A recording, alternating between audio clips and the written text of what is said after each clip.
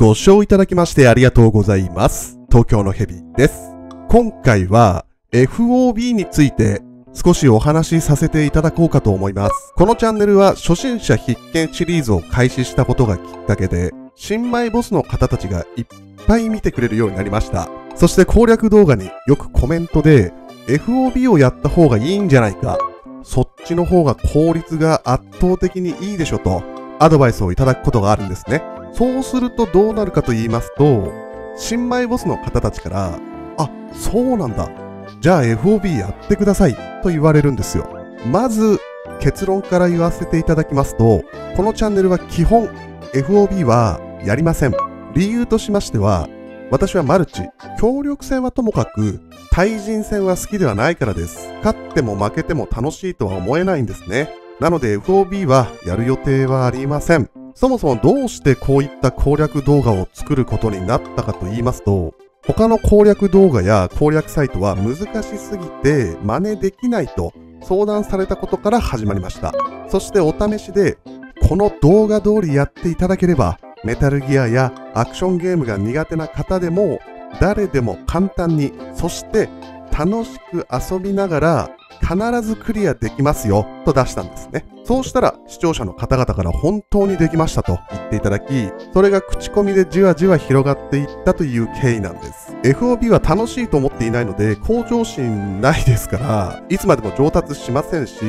する気もないんですね。そんな私が誰でも簡単にと攻略動画出せるわけないんですよ。なので申し訳ないのですが、今後も FOB 関連の攻略動画は出ないと思ってください。私がゲーム実況者になったのは2年前ですけど、その前には趣味で生配信して遊んでいました。その頃から見てくれていた方々はだいたい500人ぐらいなんですが、その方たちはね、当時から私が FOB はやらないと言っていたので、多分分かっていることだと思います。ですが、それ以外の3000人以上の方たちは、当時の配信も全て終了しているので、まあ、たまに生放送で、今でも FOB やらないんですか？とチャットをいただき、FOB をやらないですね、ということもあるんですけども、私が FOB をやらないということを知らない方の方が多いのかなと。そしてコメントやメッセージで新米ボスの方たちから FOB やってくださいと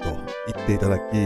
申し訳ありませんと一人一人謝罪していたんですが、ちょっとその頻度が多くなってきてしまい、これは一人一人対応していたら厳しいなと思いましたので、今回こういう動画を急遽出させていただきました。まあ私もね、他の方がプレイしてる FOB を見てるのは好きですよ。なのでそういう意味でやってほしいという方もいらっしゃるとは思うのですけど、絶対私は楽しんでプレイできないので、そんな私がプレイする FOB 動画は面白くないと思うんですよね。私も視聴者の皆様も誰も得しません、これは。それでこれは以前、どこかの生配信中に視聴者の皆様にお伝えして、いろいろ意見をいただきましたが、ここ最近、いや、最近でもないか。1年以上ですね。もう2年近くなのかな。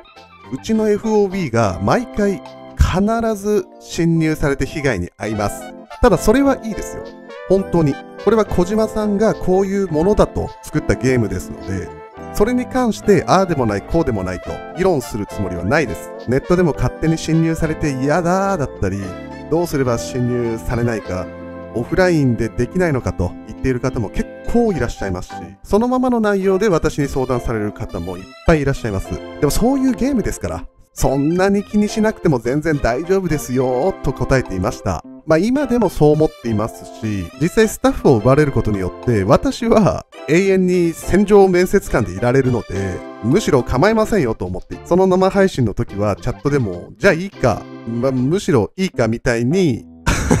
皆さんにも言ってもらいました。ですけど、ですけどね、本当に FOB に文句はないです。ちょっとここ勘違いされたくないので、繰り返しお伝えしていますけど、FOB に本当に文句はないです。ですが、1年以上、2年近く、毎回毎回必ず100%、あなたの FOB に被害が出ましたよという報告画面を見るたびに、うーん、結構ですね、ストレスを感じるようになりました。時間も無駄ですからね、被害内容を確認しますが、報復の準備はできていますよと。数十秒ですよ。でもこれが1年以上、2年近く毎回ですからね。トータルで考えると無駄な時間だなと。ゲーム実況者になってからこういうことになったんですが、それまでの2年間、趣味でやっていた時というのは、まあ1年に1回侵入されるかどうかという頻度でした。だからもう驚きなんですよね。何があったのかなと。さらに実害としては、スタッフや資源を奪われるのは気にしていませんが、スタッフも必要な特別なスタッフたちは2、30人全員ロックかけていますので、直属契約というシステムですね。実害は収録に悪影響が出ているということです。このチャンネルはどのゲーム実況でも縛りだったり、コンセプトを決めてプレイしていますよね。現地調達だったり、初期装備だったり。あとはキャラクターによって武器装備を決めてプレイしています。なので毎回それを守ってプレイするようにかなり気を使っていますし、そもそもゲームをプレイしながら同時に実況していますからね。ゲーム実況者の方々であれば分かってもらえると思います。楽しいというのは前提で、まあまあ大変なんですよ。大変というか、結構視野は狭くなっています。そこに敵いるのになんで気づかないのとか、後ろにゾンビ来てるよとか、コメントいただきますが、編集中に気づくんですよ、こちらも。でもプレイ中は各方面に集中したり、別のことを同時にいくつも考えながらプレイしているので、普通気づくことも見逃すということもあります。そんな中、いきなり画面に FOB に侵入者ですアラームとともに警告音が出るんです。対応はしませんけどね、放っておきますけど、その瞬間まず収録はストップしますし、潜入していた場所から安全な場所まで移動して、そこからですね、どこまでの音声が使えるのか、どこから繋がるのか、カット分けどこで編集でくっつけられるのかっていうのを考えて調整しなければいけないんですね。収録中なので確認はできませんから、コンテナの後ろとか隠れながら毎回遡って必死に考えています。放っておいたとしても、アイドロイド開いたら侵入されていますという警告画面出ていたら、見ている皆さんも絶対そちらを見ますよね。せっかくコンセプト決めてプレイしているのにブレちゃうんです。なので私の FOB 離れがここ1年、うん、結構加速していることもありまして、改めて FOB 動画は出ないかなと考えています。イベント FOB でもいいからやってほしいと言われるんですが、これは別にいいかなとは思うんです。ただやっていない理由としては、スケジュールで開催されているわけですよ。イベントは。なのでこちらのタイミングで収録できないので、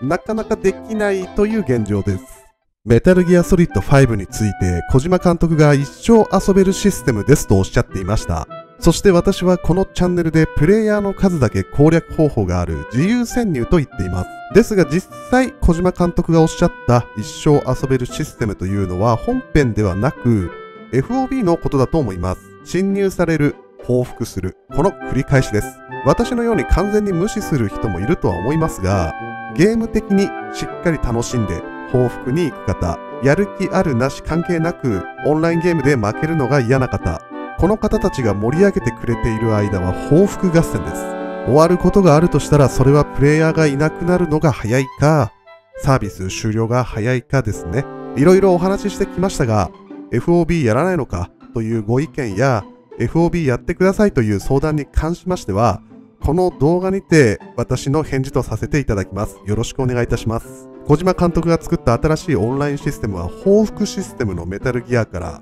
絆システムのデスストへと変化を遂げました。しかしどちらもユーザーを魅了したのは間違いありません。私自身は FOB をプレイしていませんが、FOB を楽しみ続けているボスの皆様方には、サービス終了のその日までぜひメタルギアソリッド5を盛り上げていただきたいと思います。最後までご視聴いただきましてありがとうございます。少しでも面白かった暇つぶしになった、そう思っていただいた方は、チャンネル登録、高評価するかはお任せいたしますので、ぜひとも東京の蛇の動画をもう一本ご視聴いただけると嬉しいです。それでは次回また別の動画でお会いいたしましょう。